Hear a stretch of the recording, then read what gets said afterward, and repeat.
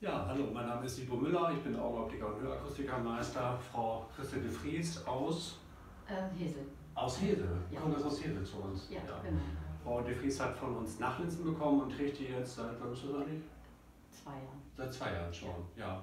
Ja, und ich habe äh, gefragt, ob wir das kurz mal so ein kurzes Interview machen können, weil Mir weil es Ihnen gut gefällt. Genau. es gefällt dir richtig gut. Ja, Sehr gut. Ja. ja ähm, wann setzen Sie sich so abends ein? Meist so, wenn ich ins Bett gehe, halb elf. Halb elf, Ja. morgen stehen Sie- früh auf. Halb sechs. Halb sechs schon, Ja. meine Herren, ja.